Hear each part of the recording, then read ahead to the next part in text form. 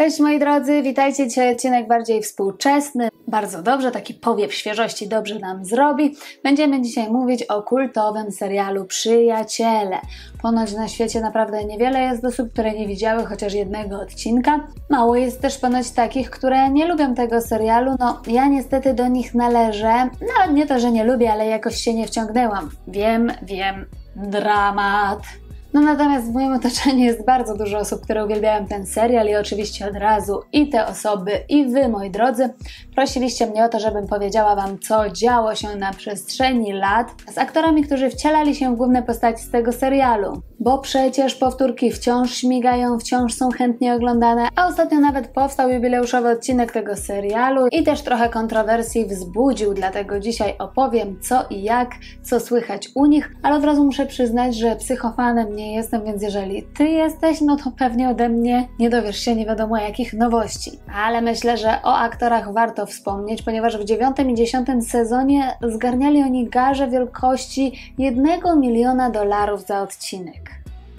Gdyby tak było w klanie, to myślę, że dr Lubitsch mógłby już być miliarderem. Na pewno przyjaciele byli trampoliną do kariery aktorów z tego właśnie serialu, ale że wszyscy zrobili wielkie, zatrważające kariery? Nie do końca. Co u nich słychać? Dzisiaj Wam opowiem. Najwięcej kontrowersji po tym nowym odcinku wzbudził Matthew Perry, który wcielał się w Chandlera. I mimo, że w Przyjaciołach to on był przez wielu uważany za to najzabawniejsze ogniwo, to później niestety nie było mu w życiu do śmiechu. Po pierwsze, zawodowo. Kolejne jego seriale i serie komediowe nie przynosiły takiego sukcesu jak Przyjaciele, no ale umówmy się, to trudno przebić. Ale ten sukces naprawdę, mówiąc już na wyrost, był umiarkowany. Jego seriale Go On i Mr. Sunshine nie były zbyt ciepło przyjęte. Później znowu dano mu szansę, został producentem i scenarzystą a także głównym bohaterem serialu The Odd Couple. Ale niestety i tu nie było powodzenia i wtedy bardzo często zastanawiano się, co się stało z tym poczuciem humoru, którym Matthew przecież nas raczył. A ci, którzy są w jego fanklubie wiedzą, że również w filmach pełnometrażowych nas raczył swoją obecnością. Wystąpił m.in. w Jak ugryźć 10 milionów czy Seventeen Again. I to też nie wpłynęło jakoś bardzo dobrze na jego karierę. Być może wpływ na to miał fakt, że już w ostatnich sezonach przyjaciół zmagał się z silnym uzależnieniem. Zarówno od y, różnego rodzaju leków, jak i narkotyków oraz alkoholu alkoholu. To się odbijało oczywiście na jego pracy, na życiu prywatnym również, ale w pewnym momencie było już aż tak poważnie, że zaczął się niestety martwić również o swoje życie. Dlatego kilkukrotnie podejmował terapie odwykowe. Miałem taką dziwną zasadę, że nigdy nie piłem na planie. Szedłem do pracy w skrajnych przypadkach kaca. To strasznie czuć się w ten sposób, a do tego trzeba pracować i być zabawnym. Nie wytrzeźwiałem, bo miałem na to ochotę. Stałem się trzeźwy, bo martwiłem się, że umrę następnego dnia, zdradził w wywiadzie dla New York Timesa. Faktycznie w 2001 roku stracił przytomność w swoim apartamencie i szybko trafił do szpitala. Stwierdzono u niego odwodnienie, niedożywienie, a także zatrucie. Niewiele pamiętam z tego okresu mojego życia. Boję się patrzeć na zdjęcia. Byłem chorym, zagubionym człowiekiem. Chyba próbowałem się zabić. Brałem pigułki i popijałem whisky. I kiedy pod koniec maja pojawił się ten jubileuszowy odcinek, to fani wcale nie odetchnęli z ulgą. Okazało się bowiem, że Matthew Perry po raz kolejny nie zachwyca dobrą formą. Zaczęto spekulować, że znów wrócił niestety do nałogu. Producent projektu jednak skomentował: Rozmawiałem z Matthew. Wspaniale było znów go zobaczyć, a to, co ludzie mówią, jest tym, co mówią ludzie. Nie mam nic do powiedzenia na ten temat, poza tym, że wspaniale było go zobaczyć i myślę, że był bardzo zabawny w serialu. Ale tak, myślę, że jest w porządku, wydaje się silniejszy i lepiej się czuje od czasu, kiedy go ostatnio widziałem. Był podekscytowany możliwością pójścia naprzód u spokoju.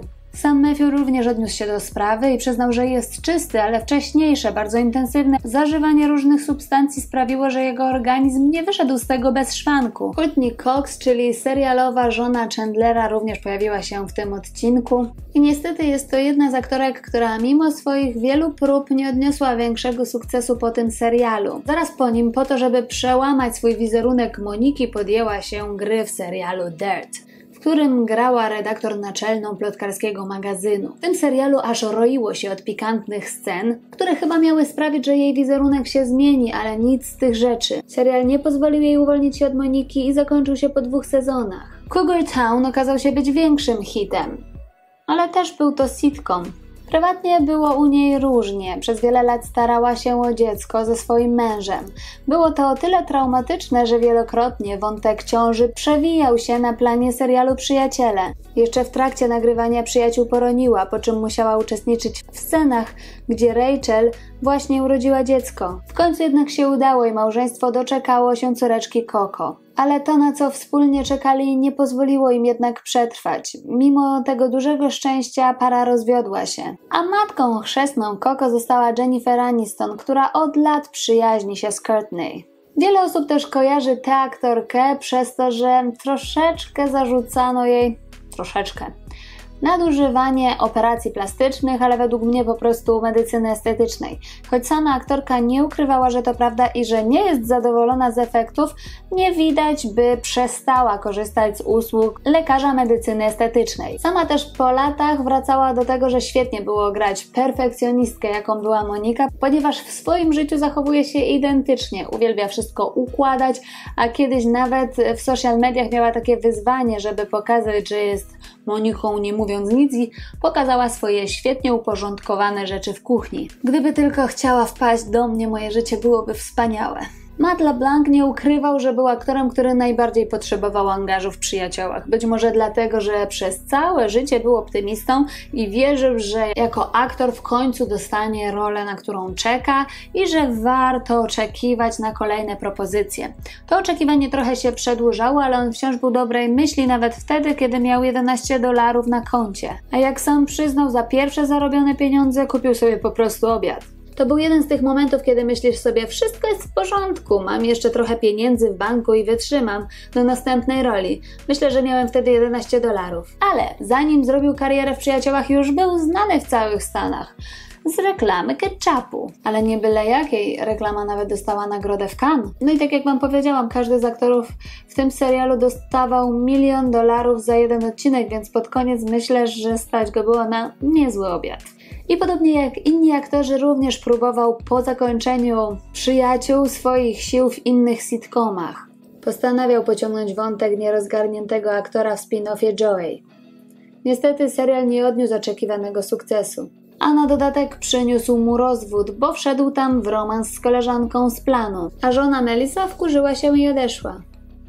Mają razem córkę, Marinę. To wszystko sprawiło, że aktor trochę chciał pomyśleć nad swoim życiem, odsunął się w cień, ale chyba doszedł do dobrych wniosków, bo kiedy powrócił, to z przytupem. W serialu Episodes, gdzie gra samego siebie. Odcinki zebrały bardzo pozytywne opinie wśród krytyków, a aktor otrzymał Złoty Glob za najlepszą rolę komediową czego nie udało mu się osiągnąć przez 10 lat grania w Przyjaciołach. I chyba również kontynuacja Przyjaciół, ta jednoodcinkowa, ten jubileuszowy odcinek, powrót, był dla niego strzałem w dziesiątkę, bo co się okazało?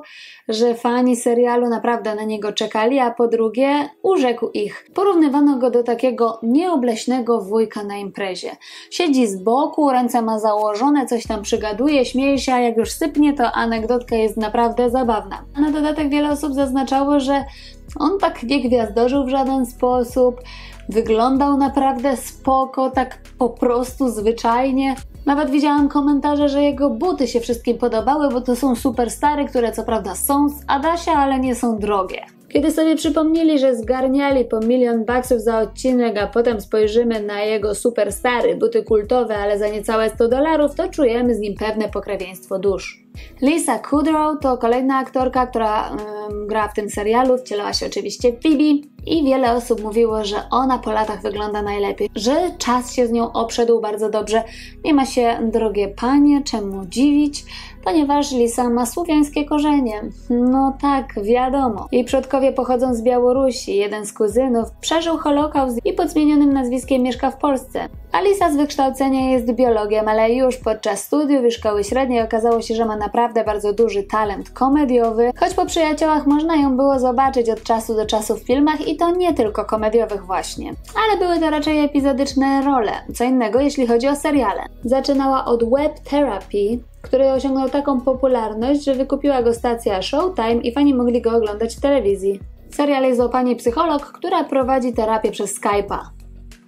Dobrze, że pandemia się powoli kończy, bo myślę, że byłoby bardzo dużo takich spotkań. I myślę nawet, że jest, ale oby nie wszyscy lekarze byli tak ekscentryczni. Mogliśmy ją zobaczyć też w wielkim powrocie, w którym zachwyciła wielkim dystansem do siebie. Prywatnie jej życie też jest najbardziej poukładane, jest związana z Francuzem, który zajmuje się produkcją reklam. Michaelem, z którym ma syna. David Schwimmer, czyli Ross. Nie rozśmieszałby nas o nie, gdyby został tym, do czego teoretycznie został powołany. Otóż cała jego rodzina to prawnicy i on chyba też miał być prawnikiem, ale na szczęście zboczył z kursu. A miałby co robić, bo chociażby jego mama była prawniczką zajmującą się rozwodami największych gwiazd. Na przykład na jej koncie były rozwody Elizabeth Taylor, Sami dobrze pamiętacie, że było co robić, no więc myślę, że tutaj również David miałby ręce pełne roboty. Ale jak już wam powiedziałam, zboczył i skręcił w stronę studiów aktorskich. Sprawił też, że naprawdę wiele fanek przyjaciół straciło dla niego głowę, no myślę, że nie tylko. Ale po zakończeniu tego serialu przeskoczył na drugą stronę kamery i bardzo często reżyseruje. Jest odpowiedzialny za reżyserię kilkudziesięciu filmów i seriali. Po zakończeniu Przyjaciół można go było zobaczyć w kultowym serialu wojennym HBO Kampania Braci. A także to on jest głosem Melmana z Madagaskaru. Sam został mężem w 2011 roku po zaręczynach z Zoe. Niestety w 2017 roku para ogłosiła separację. Doczekali się razem córki. I na pewno pamiętacie, że w serialu jego bohater uwielbiał bohaterkę graną przez y, Jennifer Aniston. I podczas tego ostatniego odcinka okazało się, że kto tutaj wyczuwał większą chemię niż tylko tę graną, miał rację. Oboje się w sobie mocno podkochiwaliśmy, powiedział serialowy Ross. Jennifer Aniston szybko podkreśliła, co prawda, że do niczego między nimi nie doszło, ale powiedziała, że nie była to ściema. W pewnym momencie oboje podkochiwaliśmy się w sobie nawzajem ale to było jak mijające się statki. Jedno z nas zawsze było w związku i nigdy nie przekroczyliśmy tej granicy, powiedział David. A Jennifer dodała: Były momenty, kiedy przytulaliśmy się na kanapie i leżeliśmy na łyżeczkę, czy coś w tym stylu. I zastanawiałem się, jakim cudem jeszcze wszyscy nie widzą, że tak nas coś do siebie ciągnie. I kilka lat temu był też taki mały skandal. Otóż okazało się, że brytyjska policja zamieściła zdjęcie złodzieja, który wyniósł tam sporo rzeczy ze sklepu. No i wszyscy na to, że przecież to jest gwiazda przyjaciół. Na szczęście okazało się, że po prostu facet był bardzo podobny. A na koniec Rachel Green, czyli oczywiście Jennifer Aniston, gwiazda, która zrobiła chyba największą karierę po tym serialu, nie tylko za sprawą małżeństwa z Bradem Pittem, choć na pewno miało to niebagatelne znaczenie. Cały ten skandal ze zdradą, to, że brat zostawił Jennifer dla Angeliny i tak dalej, sprawiło, że bardzo dużo się o niej mówiło. I oczywiście później, kto będzie następcą Brada, wszystkich też bardzo interesowało. To, co zawsze mnie szokuje w przypadku Jennifer Aniston, to ciągłe pytanie o to, kiedy zostanie matką. Jakby to było jedyne powołanie kobiety i jakby naprawdę aktorka miała ten obowiązek w końcu wszystkim powiedzieć, kiedy zostanie i dlaczego nie jest matką. Pewne jest też, że Jennifer Aniston najwięcej grywa ze wszystkich aktorów, którzy grali w tym serialu. Te jej propozycje są też najbardziej lukratywne. Oczywiście większość z jej hitów to komedie, chociażby Millerowie, ale także Szefowie Wrogowie, Stara się także przyjmować inne role, żeby troszkę wyjść z szuflady aktorki komediowej, chociażby mogliśmy ją oglądać w dramacie Cake. Za tę rolę otrzymała nominację do Złotego Globu. I tak jak już Wam powiedziałam, z Courtney właśnie utrzymuje najbliższe relacje, jest to jej przyjaciółka, dlatego też często, żeby chyba podkręcić zainteresowanie przy produkcjach, w których występuje Courtney, na jej prośbę, również Jennifer się tam pojawia. Można było ją zobaczyć zarówno w Dirt, Cougar Town. I sama od czasu przyjaciół nie zdecydowała się, podobnie jak wszyscy jej koledzy, na swój własny serial. Być może dlatego, że po prostu ma bardzo dużo propozycji filmowych i nie jest jej to potrzebne. I bardzo dobrze, że Jennifer na planie serialu nie dała się wciągnąć w żaden romans. Zresztą podczas tego ostatniego odcinka wyszło, że taka była złota zasada między przyjaciółmi. To była zasada, którą mieliśmy. To było naprawdę bardzo ważne dla całej szóstki, żebyśmy utrzymywali przyjaźń, żebyśmy byli przyjaciółmi. Tak więc utrzymywaliśmy przyjaźń i staliśmy się naprawdę dobrymi przyjaciółmi, którymi jesteśmy do dziś. Kontynuowaliśmy tę zasadę i sądzę, że to było bardzo ważne, dodał Matthew Perry. Czyli była zasada, że nie mogą ze sobą się wiązać. No oczywiście wiecie, życie wpłata różne scenariusze, ale tutaj akurat ta zasada się dobrze sprawdziła. No i po latach przyjaciele są w całkiem niezłej formie, przyznacie. I na dziś to wszystko, ale ponieważ ja tutaj głównie na tym kanale robię biografię, to nie możecie mi nie napisać, kogo z tych aktorów chcielibyście, bym wzięła pod lupę dokładnie i bym Wam opowiedziała o całym życiu, od dzieciństwa aż do dziś, więc czekam na Wasze propozycje i oczywiście jak zawsze zapraszam Was też do proponowania innych, bardziej tradycyjnych dla tego kanału pomysłów na odcinki, a także żebyście odwiedzili mnie na Facebooku Instagramie, a także TikToku. A na fejsie mam nawet swoją grupę, która nazywa się Przyjaciele kanału Paula Rodak. Więc jeżeli lubicie nie tylko te współczesne, ale też te gwiazdy, które były popularne kiedyś, to nie może Was nam zabraknąć. Podobnie jak w przyszłości na tym kanale, bo już niedługo wracam z kolejnym odcinkiem. O kim, o czym przekonacie się niebawem. Dzięki, że byliście ze mną dzisiaj do samego końca. Pa!